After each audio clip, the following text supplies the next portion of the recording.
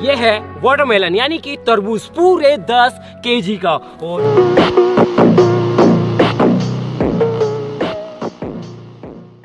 वही नमक जिसे कि अपन खाते हैं, लेकिन आज की इस वीडियो के अंदर हम इन दोनों चीज़ों को आपस में मिक्स करेंगे और मिक्स करके कुछ